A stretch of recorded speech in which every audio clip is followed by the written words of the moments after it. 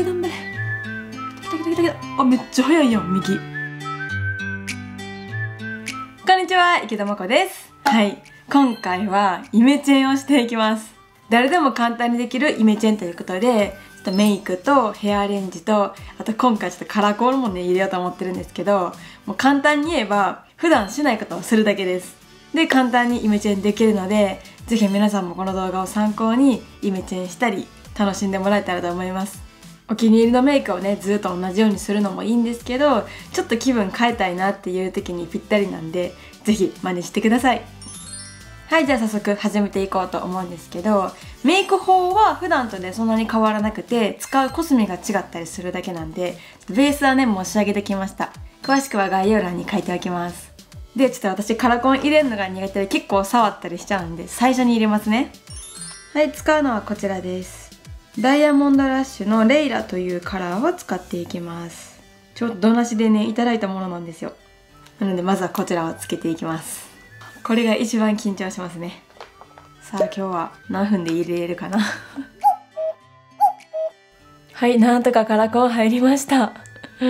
こんな感じの結構明るい色になります。黄色とかグリーン系のカラーですね。アッシュっぽい感じ？はいじゃあ次アイシャドウからいきます。こちらクリアのプロアイパレットです。4番のストリートブリック。このアイシャドウめっちゃ好きなんですけどこれ新色で。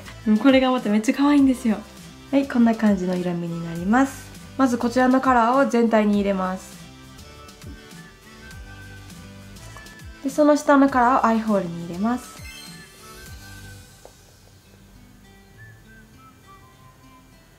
でこちらのカラーを目の外側に入れていきます。ポンポンポンって入れます。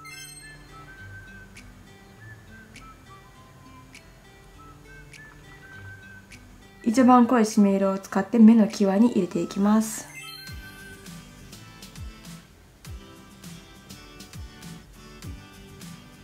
でこちらのカラーを下まぶたの目尻に入れていきます。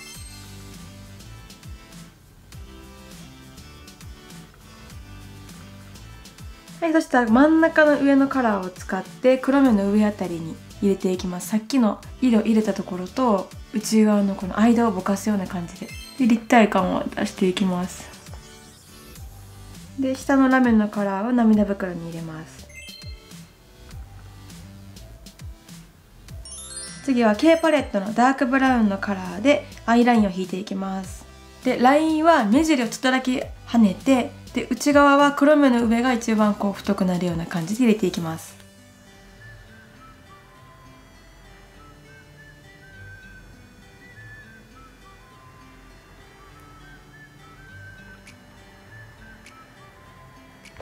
で跳ね上げるのもがっつりじゃなくてこれぐらいさらっとちょっとだけ跳ね上げます。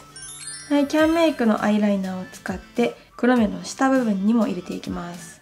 このまつげの際のところにうっすら入れることで目力がアップします。はいできたらエクセルのビューラーでまつげを上げてケイトのマスカラをしていきます。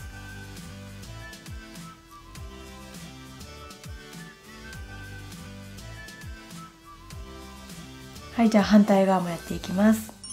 はいアイメイクこちらで完成です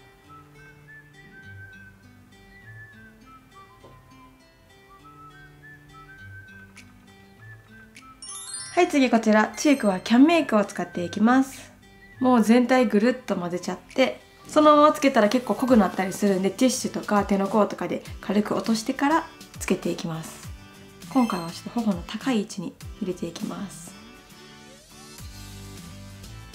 結構目元がね明るいカラコンでちょっときつい印象になるかとも思うんですけどそれをこうね可愛らしい感じにして女の子らしさも出しつつかっこかわいいみたいな イメージでやっていきます。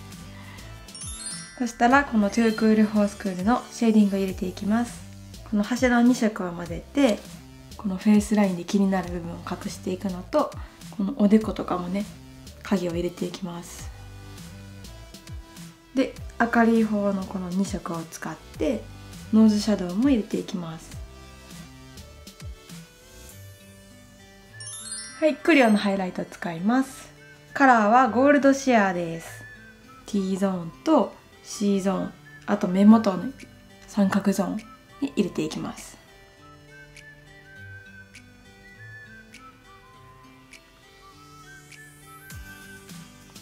三角ゾーンちゃうか。目頭のとこですね。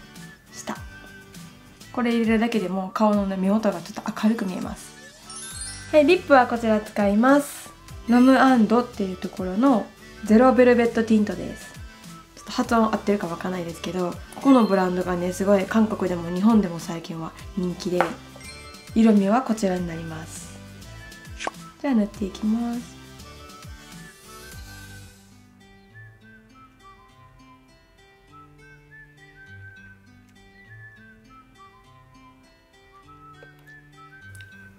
このリップはマットリップほど硬くないしすごい塗りやすくて塗り心地もね結構軽めでゼロっていうだけあってつけてる感っていうのがほんまになくてめっちゃ使いやすいです。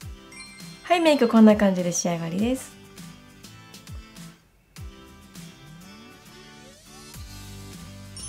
はいじゃあこっから超簡単なヘアアレンジもやっていきます。もうこれはほんまに楽ちんで普段私ヘアアレンジあんましないんでイメチェンにもなるし今日ねもう何にもしんときたんですよ髪の毛。寝癖がついててもバレずにヘアアレンジできるんでやり方はもう簡単な三つ編みをするだけです。はいまずちょっと簡単に2つに分けてからはい髪の毛を3等分にします。はいこんな風に3等分にできたらこの耳の後ろあたりからしっかりと三つ編みしていきます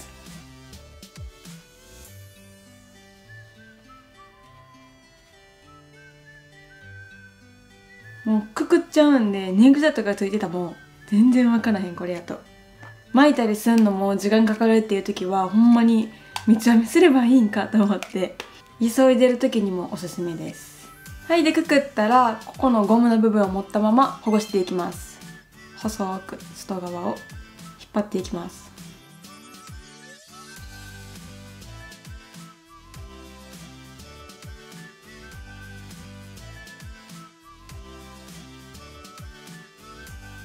でできたらこの毛先を巻いてあげた方が可愛くなります。さらに。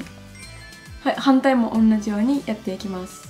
でできたらこういう部分も下ろしてあげると後でねここだけとか巻いても可愛いんでそれもやっていこう。で私ちょっと前髪が長いんで先にここ入れちゃってで出てくるこの短いのを巻いていきます。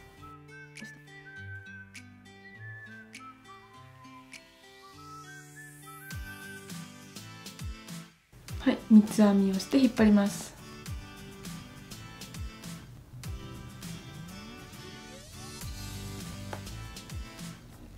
毛先もくるんとしておきます。で顔周りは外巻きにします。で上の方とかもできればちょっとほぐしてあげて。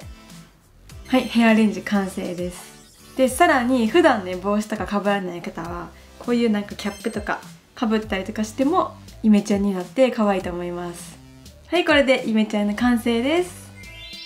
はいということで今回はこんな感じでイメチェンをしてみました。いかがでしょうか？